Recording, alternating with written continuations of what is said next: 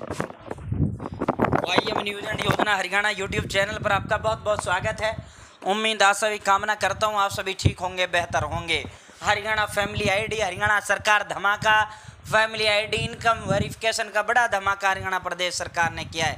Family ID income verification का तरीका अब प्रदेश सरकार ने बदल दिया है।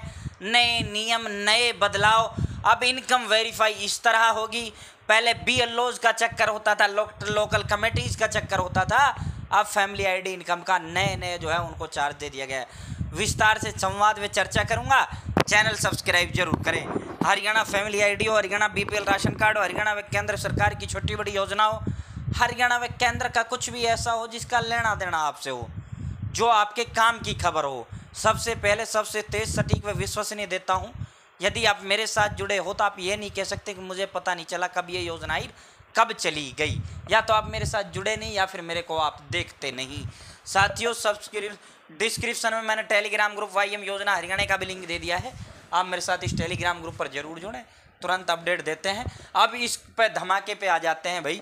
तहसीलदार व बीडीपीओ की रिपोर्ट के बाद अब फैमिली आईडी की इनकम तय होगी।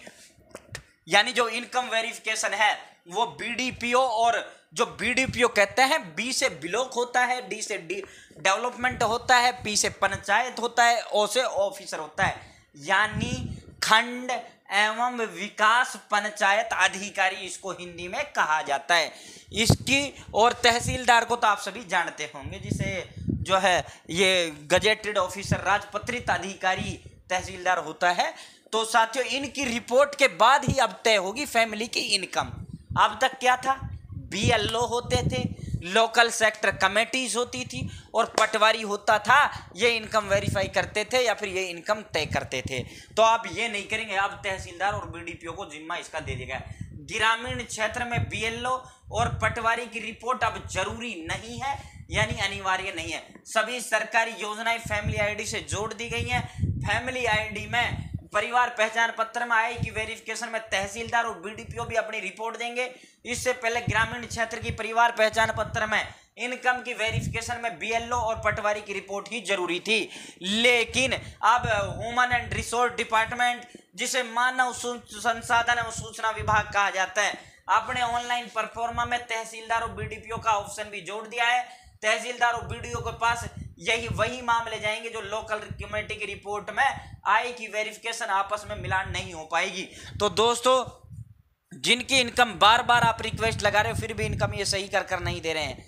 तो उस व्यक्ति की जो है, ये सही जिसकी भी नहीं हो रही है, बड़ी शिकायतें इसको लेकर होती हैं कि, सर, मेरी इनकम इतनी नहीं है, इतनी दर्शा दी मैं बार बार परेशान हो चुका हूँ, मेरी इनकम ठीक नहीं हो रहा है। तो भाई, जो भी ग्रीवेंस लगाएगा, अब ये सीधा जो है तहसीलदार और उसके पास बीडीपीओ के पास जाएगा बीडीपीओ इसकी वेरिफिकेशन कर कर उसकी इनकम वहाँ वो करेगा।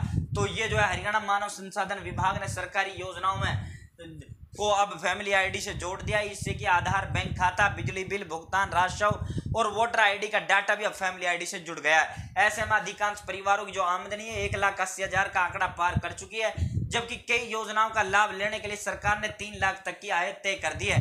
अब भी मानव सूचना संसाधन विभाग के समक्ष काफ़ी जो है ऐसे मामला है, जिनमें परिवार अपने सदस्यों के आय पर अपनी आपत्ति जता शिकायत दर्ज कर रहे हैं। इसके बाद इनकम की वेरिफिकेशन का काम बढ़ गया है। अब जब तक फैमिली आईडी में सरकार द्वारा निर्धारित आय नहीं दर्शाई जाएगी, तब तक उस परिवार को सरकारी योजनाओं का लाभ नहीं मिलता। यानी जब तक फैमिली आईडी की इनकम वेरीफाई नहीं हो जाती, तब तक आप कोई लाभ भी नहीं ले सकते। तो आय की वेरिफिकेशन की अब नई व्यवस्था यह है आय की वेरिफिकेशन के लिए, यानी इनकम की जो वेरिफिकेशन है, उसकी नई व्यवस्था देख लो। सबसे पहले पाँच सदस्यों की लोकल कमेटी बनाई गई है। इसमें बीएलओ फैमिली आईडी का ऑपरेटर वॉलंटियर स्टूडेंट या वॉलंटियर या सोशल वर्कर शामिल है। इसके बाद सेक्टर कमेटी में पाँच सदस्य हैं। इसमें पीजीटी बीएलओ है। परिवार, पहचान पत्र, पोर्टल का ऑपरेटर है volunteer student volunteer social worker है। अगर किसी फैमिली आईडी की, आय वेरिफिकेशन में लोकल और सेक्टर कमेटी की रिपोर्ट में भिन्नता पाई जाती है तो एडीसी ऑफ़िस पोर्टल पर शिकायत दर्ज होगी। तो ये जो है, नया तरीका ये कर दिया गया है, साथियों। ये दो, एक तो लोकल कमेटी बनाई गई पाँच सदस्यों की। एक बनाई गई है पाँच सदस्यों की सेक्टर कमेटी इनकम वेरिफिकेशन के लिए आपने वो किया। दोनों कमेटी एक तो कमेटी तो दिखा रही है, एक अस्सी से कम। और एक कमेटी दिखा रही है एक अस्सी से ज़्यादा तो दोनों में हो गई अलग अलग अब सरकार इसको एक अस्सी से कम दर्शाए या एक अस्सी से ज़्यादा दर्शाए? तो ऐसी दशा में क्या होगा? ऐसी दशा में तहसीलदार और बीडीपीओ जो वेरीफाई करेंगे दोनों संयुक्त रूप से वो इनकम इस, इनकी मानी जाएगी। साथियों जो जो जो है अगर इनकी एक दोनों ने एक अस्सी से कम बता दी तो बीडी तहसीलदार और बीडीपीओ के पास नहीं जाएगी। यदि दोनों ने एक अस्सी से ज़्यादा दिखा दी तब भी नहीं जाएगी।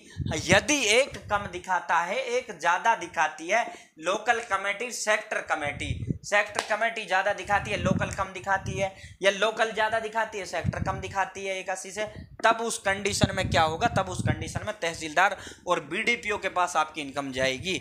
रिपोर्ट के बाद ये गलती ठीक हो जाएगी और आपका फैमिली आईडी इनकम में सही व दुरुस्त कर दिया जाएगा। दूसरा, जिनकी इनकम बार बार उस करने पर भी सही नहीं हो रही है, उनकी रिपोर्ट उनका भी बीडीपीओ और तहसीलदार ही वो करेगा। तो उम्मीद है जानकारी पसंद आई होगी, जानकारी अच्छी लगी होगी, चैनल सब्सक्राइब ज़रूर करें।